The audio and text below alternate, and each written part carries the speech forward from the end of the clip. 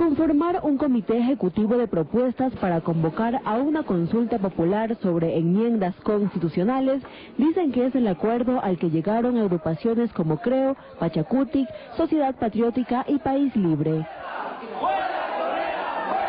Se han unido muchos partidos políticos, pero en cierto sentido de, no saben muy bien de lo que se trata en parte, no de lo que ha hecho el gobierno. Hay grupos de oposición, más que todo para hacer quedar mal al presidente. Sin intereses personales.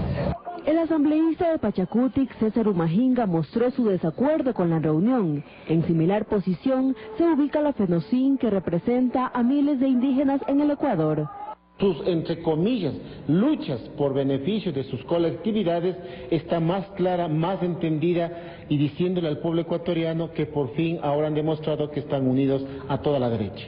La analista Mónica Mancero dijo que no es común que grupos de derecha, exbanqueros, grupos que ya estuvieron en el poder se reúnan con movimientos indígenas, pues sus intereses son diferentes y que esta coalición no durará por mucho tiempo. Es imposible que entre la CONAIE y su brazo político Pachacutic puedan haber eh, pactos de largo plazo con el señor Lazo que representa a la derecha neoliberalismo. De esto ya, ya vivimos, nosotros sabemos cómo fue.